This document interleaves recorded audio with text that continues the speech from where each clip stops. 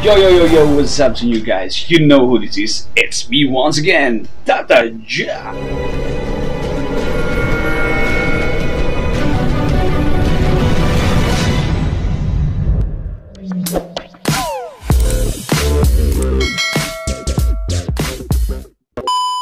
So, ayun na nga ano guys, ano. So, magpapasalamat muna ako sa inyo.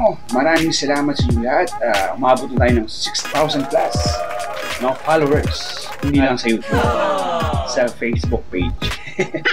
so, ganun pa man, maraming salamat sa inyo sa inyong uh, supportang tunay, no? Sa Facebook page natin, umabot tayo ng 6,000.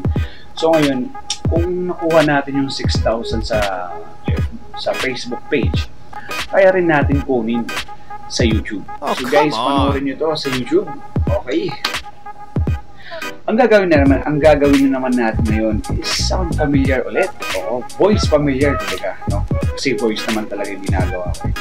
Okay, guys? Kung ikaw ay laging sumasakay sa LRT, alam ko na familiar kayo sa boss nito. Okay? Pakinggan nyo guys.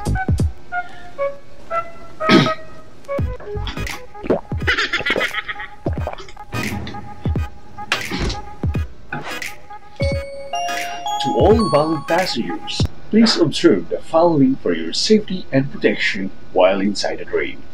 Wishing you a safe and convenient journey. Maraming salamat sa pagtangkilik sa LRT. Hangad ka namin na gumaling kayo. right mid pala yun. o, di ba? Okay ba?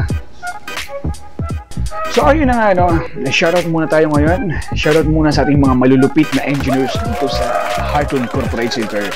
At kay Ma'am Rona at kay Ma'am Faith. Ma'am, shoutout sa inyo. Sila yung mga masusugid na tagapanood ng aking mga video. Sila yung dalawa kong fans. Alright? So, ganun pa man guys, lahat sa mga engineers dito, hindi lang sa kanila. So guys, maraming salamat sa inyong panonood dito sa aking YouTube channel. So, huwag niyo nang kalimutan mag-subscribe and like and share. God bless.